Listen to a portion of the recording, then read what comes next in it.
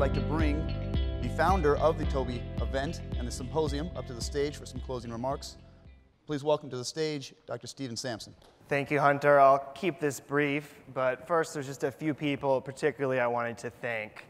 And first, I want to thank um, Monica Caraballo from the Arthritis Foundation for being here and their willingness to collaborate with our community.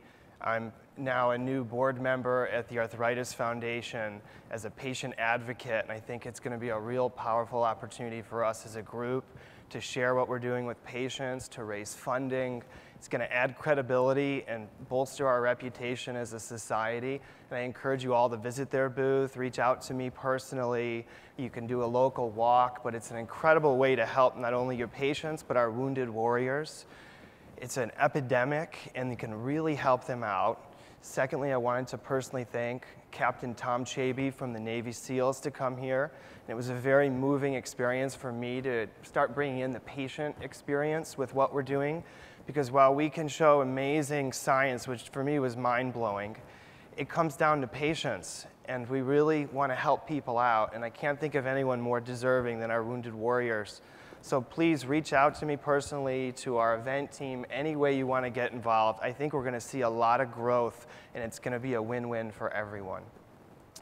Lastly, although we have a staff of nearly 100 individuals helping us to make things go very seamlessly and smooth, I particularly want to thank my head event coordinator, Julie Patches, for working effortlessly day and night with every attention to detail and making sure our staff, our faculty from around the world, last minute changes with remote Skype lectures. You have no idea what goes behind it. And it wouldn't work as smoothly without Julie Patches and her dedication. So if we can just give her an applause. Thank you. Also, I want to thank all the attendees for coming. I know it takes a lot to be here. Many of you have been here five, seven years in a row. Some of you are new. I appreciate all the feedback regarding the event. As you can see from this year, we really take it to heart. We excluded industry talks for CME, and people, many came up to me appreciating that, and we're going to continue that. For those of you inspired from this, please go back to your practices and complete data. As Dr. Lutz alluded to, data talks. We need it. We need it as a society. Let's all work together. Randomized controlled trials will elevate the field.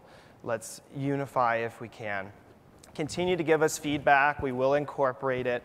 We will have some nice workshops this afternoon and a world-class cadaver lab tomorrow as well.